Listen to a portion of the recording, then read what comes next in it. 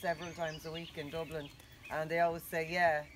and I said, well, what are they then? And say, I don't know. Um, but I, I mean, you could say fish and tackle, I suppose. But uh, and they are fish and tackle. But the jigs and the reels are the dances.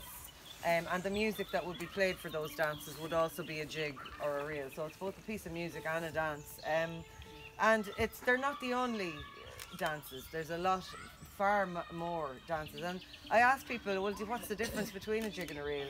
And I often get the answer, well, a reel is when people dance in a group, and a jig, because you know everyone knows to dance a jig, to, to dance the proverbial jig, I suppose. But uh, actually, you know, and actually in Irish dancing, you rarely see a jig dance.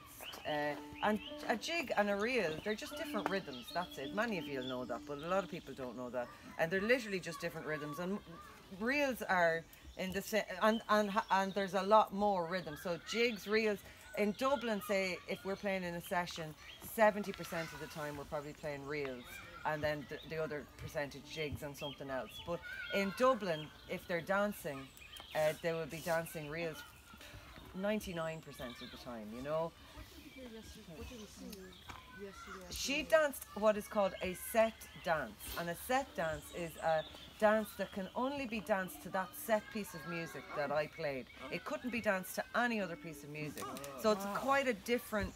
Um, and she she's just starting dancing, and so that's one of the first dances you learn. It's a competition. You would dance it in competition, um, and be adjudicated on different aspects of you know the turnout of the feet and. Uh, and your eye makeup and that kind of thing. um, so it, it, you know, so that was another uh, rhythm altogether, um, and very specific uh, to that piece of music. But you know, they could be dancing in, you know, there's different kinds of dancing, and the dancing that, that the jigs and reels are played for is called step dancing, and step dancing is what Riverdance is. But you've also then got céilí dancing, and you've got set dancing, which is not the same as the set dance that I just talked about. set dancing is like your your um, your figure dancing in uh, you know groups, but not a céilí. So it's Mick went into all that yesterday. So it's a, you know it's all quite uh, the set dancing comes from the quadrille, but the céilí dancing is the La Kayla together. It's that kind of Titanic style dancing. When And the, there was a the woman from. Limerick, Bonnie Tuma, in 1893. She decided that uh, that she would invent. She basically invented it, and she took existing céilí dancing? céilí dance. She Okay. took existing rhythms and uh, uh, existing figures that were not influenced by England. And then what they did was they published them a little later in a handbook. It's called the Handbook of Irish Dances. You can get it on Google by O'Keeffe. And when you do that, nothing changes after that. It stays the same forever. And they're very simple. If you don't write write things down, they keep changing. That's what folklorists kind Yeah. of specialise in, is is uh, the change of oral transmission or oral. That it keeps changing, but if you write it down, then it's stuck forever. Like Brahms is going to be the same forever. Mozart will be the same forever. Uh, but a tune that we play will not be the same forever. It Keep changing. Like last night, it was really interesting. Uh, me singing with Desi Mulcair. We learned the same song at the same time, and now our words are all different. yeah, just It's just that they, they you know, uh, we unconsciously you change a word here and there. I was, I was fascinated, and I was, I was singing the wrong word, and then he was singing my wrong. I mean, we were both right. You're we were both wrong too, you know. Yeah. Uh, yeah. It, it just changes a lot like that. So with the jig, so just a quick explanation. The reels are in the same rhythm as most pop and rock music. It's common time, four four, four crotchet beats in the bar. Those of you who understand understand it. Those of you who are on holidays are bored. So it's it, you know it's one two three four, one two three four, and I remember it sometimes. Uh, you say little rhymes like. Uh, black and Decker, Black and Decker, or gin and tonic, gin and tonic, whatever you want to say. And then the the the jigs, I suppose, are like a supercharged waltz. The notes are in groups of three, but it's much faster. So it's one, two, three, four, five, six, six, eight time. One, two, three, four, five, six. One, two, three, four, five, six. But you can remember it works. Butterfly, butterfly, butterfly, butterfly works in every language. Hoodia, hoodia, summerfood, summerfood in Danish. Works in all the languages except Italian. But the the the, the whole thing to me the most the biggest thing that irish music is about with the, whether it's 4 4 or 6 8 or any of the other rhythms they're the two biggest rhythms is the tiny variations so you know the session the session that we're that you know i played in a session last night down the town and the session is is what Irish music is all about. And you'll play the reels and you'll play the jigs. But you know, people that don't know what a session is sometimes think it's like jazz that we're jamming. But we're not. Like Mick said, it's specific pieces of music. You either know them or you don't know them, and you never learn. You never finish learning them. And within the, the our jamming happens within a smaller space of time. And I'd like to demonstrate that if you wouldn't mind. Sure. Is that all right? Um, because I play you a four-four piece of music that I would have learned when I was about ten, and I'll play it the way it's written on the page the first time round, and then show. you- So it's, each individual would put different decoration on it, and each individual would put different decoration on it themselves a different time tomorrow or the next day. So it's never the same. But if somebody sitting beside me is putting their individual decoration on it, it will work with mine. It's it's you know it's not it's not just doesn't have to. Be. So this one's rolling in the ryegrass. Let's just.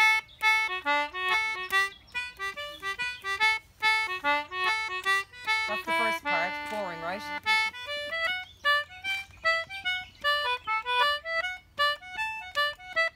So that's the second part. But if you went into that, then it would be like.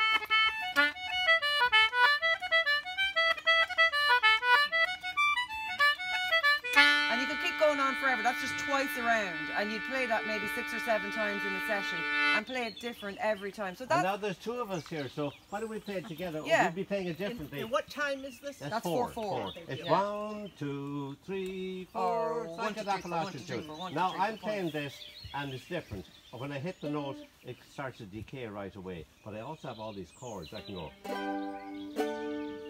And uh, so when I play this uh, with Brenda, it will not only be slightly out of tune, but it'll be. And that's uh, all the fiddlers I learned from were always slightly out of tune. So we'll play it together, and we'll play it nearly the same, but not the same. And that's a session. That's kind of a conversation.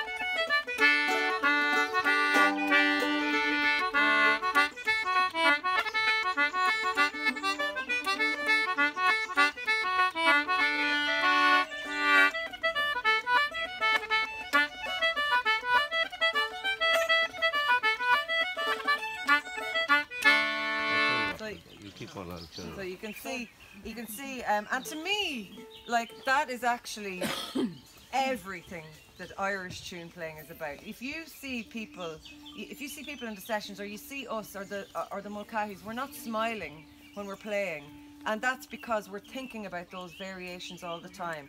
And if you see an Irish show. And the, the, the musician is throwing the hair around and smiling like this. Bullshit. so that because that is essentially the absolute everything that Irish music is about. It's those variations, and you would sit and hope that the, the more practice you do on the tune, the more comfortable you are with the tune, the more of those variations will come. And to me, that's like that's the the, the, the heart of it all, really. So, So what's the that's it. difference between a reel and a hornpipe?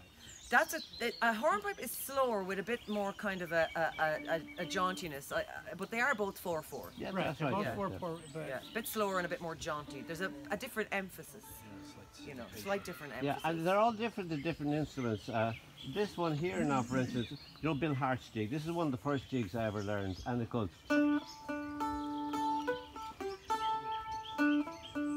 that?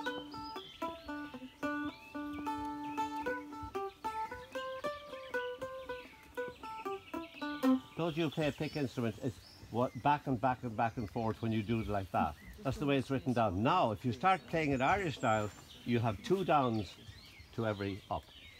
So you the wor- oh, I taught mandolin for years, and, and the hardest people to teach were brilliant bluegrass players because they had to change their whole thinking. They nearly had nervous breakdowns. and I couldn't play like them, and they couldn't play like me, but I was doing the teaching. So, so uh, the first thing you do is uh, this is called a triplet. Instead of, instead of going, you go. Now that's a downward triplet, a spitting triplet, and up. You do these, uh, and that's one of the first things. Then there's double stops, the chords. Brenda does them all the time. And then you hit all the notes together. And with this pick, you can do all of that. So I'd be playing the same tune as a. Uh, a piper it'll come out differently, concertina will come out. And then the blend of them together creates the texture. And, and we have so many instruments, the textures are always different all the time. And you could listen to this tune, Brendan saying, you could, you could listen to it forever and play it, it'll always be different. Um, did, did you get, do we, do we need to get the barn dances horn? Oh, it's supposed to be done. I suppose so. Yeah, I mean, there you know, there's so many different rhythms. Down in Kerry, they play polkas all the time and slides, and in Dublin it's reels, and you know, up in the north they play kind of Scottish. Uh, you hear that Scottish snap, like the.